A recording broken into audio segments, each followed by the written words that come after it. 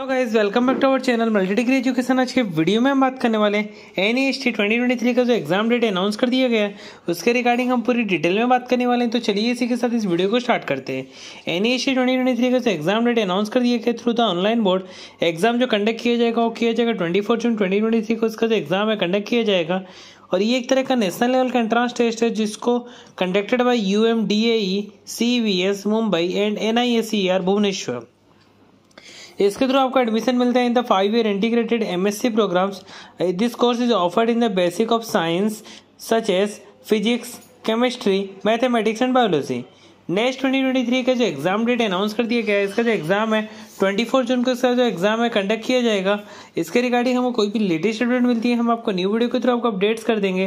तो चलिए इसी के साथ इस वीडियो को एंड करते हैं। आपको वीडियो अच्छी लगी तो वीडियो को लाइक करके चैनल को सब्सक्राइब कर देना ताकि अगले वीडियो की नोटिफिकेशन सबसे पहले आप तक पहुँच सके।